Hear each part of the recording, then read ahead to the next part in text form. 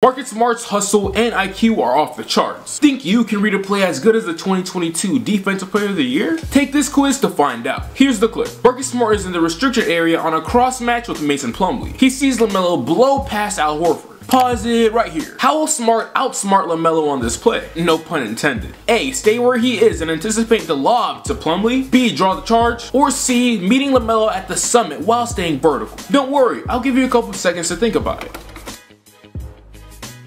Ready? It was B. Smart been consistently one of the league's leaders in charges drawn. And here we see why. Reading the play perfectly. Even if Melo opted to throw the lob pass, he knew LaMelo would have a hard time coming to a full stop to try and avoid the charge. Smart loves putting his body on the line any chance he gets to help his team win.